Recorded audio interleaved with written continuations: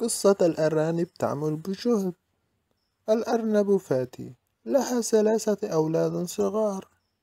ولد اسمه ميمي وولد اسمه كاتو وبنت اسمها ميكي. لعب الأولاد الثلاثة وجاعوا. فجاءوا إلى أمهم وقالوا جعنا يا ماما جعنا يا ماما. فقالت أمهم أنتم كبرتم روحوا ابحثوا عن أكلكم. قال ميمي صحيح نحن كبرنا. وقال كاتو صحيح نحن كبرنا. وقالت ميمي صحيح نحن كبرنا. وقالوا كلاهما تعالوا نبحث عن أكلنا. وراحوا إلى مزرعة وصاروا يبحثون فيها. فوجدوا أمامهم لوزة قطن مفتوحة ففرحوا وجروا إلى أمهم وقالوا وجدنا لوزة وجدنا لوزة قطن. وقف بيمي وأراد أن يأكل اللوزة. وحده فغضب كاتو وأراد أن يأخذ منه قطعة وغضبت ميكي وأرادت أن تأخذ منه قطعة وقال ميمي هذه لوزتي وأنا وجدتها وحدي وسأأكلها ولا أعطيكم منها شيء. ورأتهم أمهم يتشاجرون. وكانت فاتي ذكية وعاقلة. وصعب عليها أن يتشاجر أولادها فضحكت لهم وقالوا وقالت يا أولاد أنتم إخوة فلماذا تتشاجرون؟ لا تتشاجرون. ولا تتخاصموا. لوزة القطن لا يصلح للأكل القطن لا يؤكل. تعالوا معي إلى المزرعة لنزرع البذور التي في اللوزة. وسمع الأولاد أمهم ومشوا إلى المزرعة ولما وصلوا وقفت فاتي تعلمهم كيف يصنعوا القطن وكيف يزرعونه.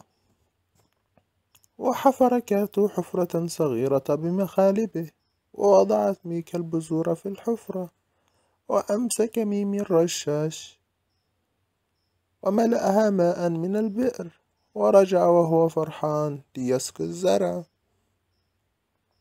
وصار الأولاد يذهبون كل يوم إلى المزرعة ويسقون الزرع. وبعد أيام ظهرت شجيرات صغيرة وأخذت تكبر ثم تكبر وظهر في كل شجرة فروع صغيرة كثيرة وأوراقها خضراء ولوز كثير. فرح الأولاد ونسوا المشاجرة. واستمروا يسكون مزرعتهم ويحرسونها. وبعد سبعة أشهر تفتح اللوز وظهر منه قطن أبيض نظيف. ففرحوا كثيرا وقالوا لأمهم ماذا نصنع بهذا القطن يا ماما؟ وقالت لهم تعالوا نجمع يا أولاد تعالوا نجمعه الآن. وراحت ميكي تجمع القطن وفتح ميم الكيس ووضع فيه كاتو ما جمع وجمعوا قطنا كثيرا. فقال ميمي نبيعه ونشتري حلوى. وقالت كاتو نبيعه ونشتري فاكهة. وقالت ميكي نبيعه ونشتري عقدا. فضحكت فاتي وقالت لا لا لا لا لا. لا يا أولادي البرد يكون شديدا في الشتاء. تعالوا نغزل القطن ونصنع ملابس تدفئنا رد ميمي ورد كاتو ورد ميكي. وغزلوا القطن وصار القطن خيوطا بيضاء.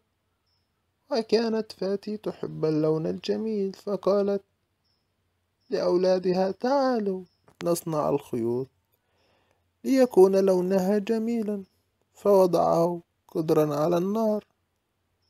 وذوبوا فيه الألوان ووضعوا فيه خيوطا. وصار معهم أربع كرات. كرة خضراء وكرة حمراء وكرة زرقاء وكرة صفراء. ونصبوا النول الذي ينسج عليه الخيوط ويصنعون منه قماش. وجلست فاتي على مقعد صغير أمام نول. وراحت تنسج وتنسج والأولاد يساعدون وهم مسرورون للغاية.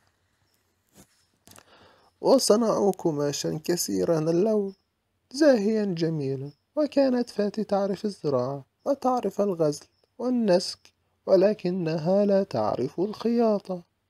والتفصيل فأخذت القماش وراحت إلى دكان الخياطة وقالت له أرجوك أرجوك اصنع لنا ملابسا جميلة. فقعد الخياط يصنع لهم ملابس ويصنع لهم فساتين. وبعد أن صنع لهم الخياط الملابس أخذتها فاتي منه وأعطته الأجر ولبست هي وأولادها الثلاثة الملابس الجديدة وأمسكت مظلتها وقالت تعالوا يا أولاد نزور خالتكم تاني لترى ملابسنا الجديدة. ففرح الأولاد وقالوا شكرا يا ماما شكرا يا ماما على هذه النصيحة الجيدة وشكرا على الثياب التي ساعدتنا على ارتدائها. هيا نذهب إلى خالتنا. النهاية. نهاية القصة. لا تنسوا الاشتراك بالقناة والإعجاب بهذه القصة. والضغط على زر الجرس. ليصلكم كل قصة يتم رفعها على القناة. قصة جحا خذ أنت الدراهم. مرض القاضي مرضا شديدا. فتولى بدل منه كاتب البلدة إلى أن يتم شفاؤه. وكان ذلك الكاتب غير عادل. وذات يوم كان جحا مارا في السوق ليشتري لوازم بيته. فجأة وجد رجل من خلفه وصفعه على قفاه صفعة شديدة ساخرا منه. نظر جحا إلى الرجل غاضبا وقال ما هذا؟ قال الرجل عفوا يا سيدي ظننتك أحد أصدقائي. الذين أرفع الكف بيني وبينهم. فلم يتركه جحا وسقاه إلى دار القضاء.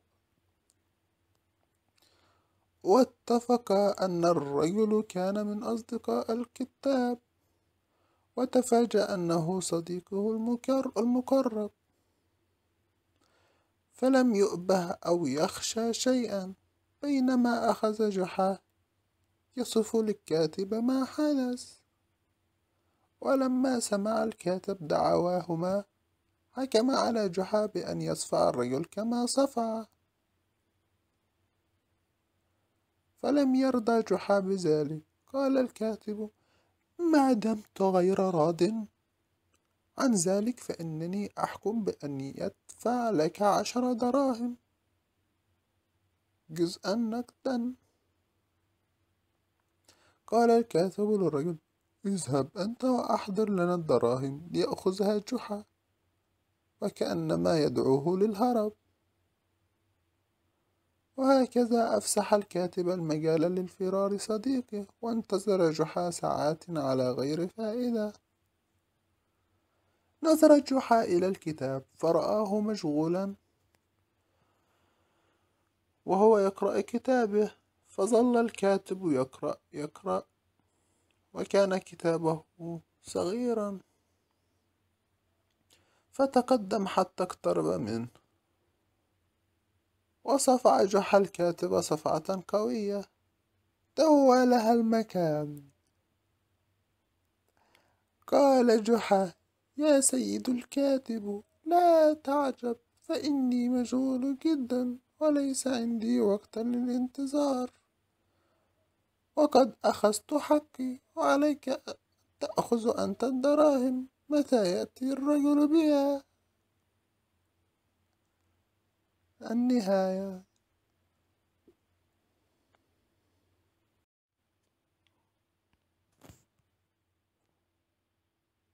مرق الأرانب. جحا. حمل أحد الفلاحين أرنبا وذهب به إلى جحا وأخذ يطرق بابه. يا جحا يا جحا فتح جحا الباب وقال للرجل من أنت؟ قال الرجل أنا معجب بذكائك وعلمك وأرجو أن تقبل هذا الأرنب هدية مني إليك. فرح جحا وتقبل هذه الهدية شاكرا. بعد أن دعا الرجل إلى أن يدخل المنزل للغداء معه بعد الغداء ودع جحا الرجل ممتنا أن تتكرر زيارته مرات ومرات وبعد أسبوع مر الرجل على جحا وكان جحا قد نسيه فسأله من أنت؟ قال أنا صاحب الأرنب يا جحا ألا تتذكرني؟ فأكرمه جحا ودعاه على الغداء معه. ومضى أسبوعا آخر وإذا بأربعة من الفلاحين يدخلون على جحا الدار. وسألهم جحا عن شأنهم قالوا نحن جيران صاحب الأرنب. رحب بهم جحا وفي موعد الغداء قدم لهم الطعام. وودعهم جحا بعد أن أتوا على الأكل ما في كل على الطاولة وأخذوا يتناولون حتى نفذ الطعام في بيت جحا. ومضى أسبوعا ثالثا وإذا بثمانية أشخاص يقتحمون دار جحا فنهض من مكانه فزعا وقال جحا في ذهول من أنتم؟ قالوا نحن جيران جيران صاحب الأرنب قال جحا لا بأس في داركم حليتم وعلى أهل أهلكم نزلتم وأجلسهم حتى يأتي لهم الطعام أحضر جحا معاونا كبيرا به ماء وكان مثل القدر الكبير ساخن. فلما زكوه صرخوا قائلين هذا ماء ساخن. قال جحا ضاحكا هذا مرق مرق الأرنب. بجيران جيران صاحب الأرنب.